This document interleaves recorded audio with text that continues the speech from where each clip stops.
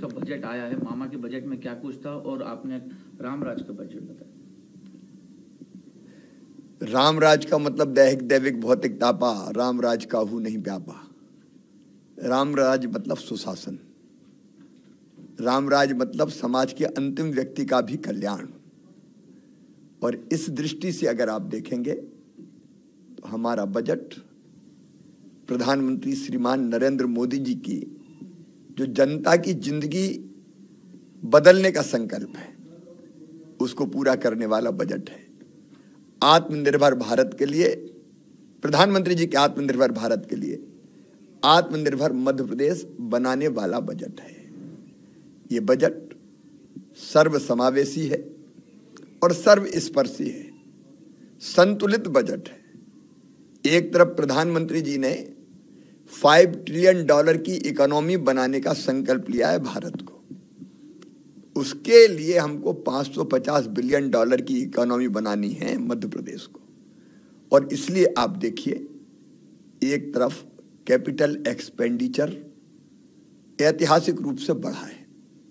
मतलब अधोसंरचना के विकास में हम छप्पन हज़ार करोड़ रुपए से ज़्यादा खर्चा कर रहे हैं। छप्पन हज़ार दो सौ छप्पन करोड़ रुपया। ये दे, मध्य प्रदेश के इतिहास में अभूतपूर्व है। Narmada express way wind express way Atal express way लेकिन उसके साथ साथ सिंचाई की योजनाओं का जाल, सामान्य सड़कों का भी निर्माण, बिजली का इंफ्रा इंफ्रा बनाना, पीने के पानी के लिए जल जीवन मिशन। हमने धन की कोई कमी नहीं छोड़ी है और सब जानते हैं, जो अर्थशास्त्री हैं, कि अगर कैपिटल एक्सपेंडिचर बढ़ता है तो आर्थिक गतिविधियाँ तेज़ी से चलती है और अर्थव्यवस्था तेज गति से आगे बढ़ती है। वैसे भी मध्य प्रदेश पिछले साल 18 परसेंट से उन्नीस दशमलव सात छः परसेंट थी हमारी आर्थिक विकास की दर। इस साल 16 परसेंट से उसके ऊपर ज़्यादा है। तो हम तेज़ी से आगे बढ़ रहे हैं, लेकिन इसके साथ जन कल्याण की योजनाएँ। अब देखिए महिला कल्याण, आधी आबादी हमारी हमारी बेटियाँ, हमारी बहनें, हमारी माएँ, मुझे कहते हुए अत्यंत प्रसन्नता है, एक लाख दो हज़ार करोड़ रुपए से ज़्यादा का प्रावधान। हमने महिला कल्याण की योजनाओं के लिए रखा। ये अकल्पनीय है, अद्भुत और अभूतपूर्व है। हमने की योजना पहले शुरू की थी 2017 में, आहार अनुदान योजना। और उसमें हमने तय किया था कि जो अत्यंत पिछड़ी जनजाति की हमारी बहनें हैं, गरीब हैं, उनके खाते में एक हज़ार रुपया डालेंगे हर महीना। उसका अभूतपूर्व प्रभाव हुआ और उन परिवारों से कुपोषण तेज़ी से घटा। पोषण का स्तर सुधरा, क्योंकि बहन अगर पास पैसा होता तो उसका सही उपयोग करती है। अब इस योजना को हमने विस्तारित करके बनाई लाडली बहना योजना और गरीब बहनों के खाते में एक हज़ार रुपया महीना। डालने का फैसला किया ताकि इस पैसे का उपयोग वो करे, दाल में, फल में, सब्ज़ी में और परिवार के पोषण का स्तर सुधरे लेकिन केवल महिलाओं का कल्याण नहीं, हमने किसानों के कल्याण के लिए अभूतपूर्व प्रावधान किया है। हमारे किसानों को ज़ीरो परसेंट ब्याज पे कर्जा मिले, हमारे किसानों को सस्ती बिजली मिले, इसलिए चौदह हज़ार करोड़ रुपए का प्रावधान किया है। प्रधानमंत्री जी छह हज़ार रुपया डालते हैं हमने तय किया कि चार हज़ार रुपया साथ में और डालेंगे।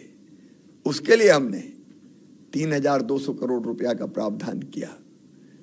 अलग अलग जो सेक्टर है खेती के, उसमें इस बजट में अभूतपूर्व वृद्धि की गई है और केवल किसान नहीं, शिक्षा के लिए, स्वास्थ्य के लिए, अब गरीबों के मकान बनाने के लिए आठ हज़ार करोड़ रुपया फिर हमने रखा है।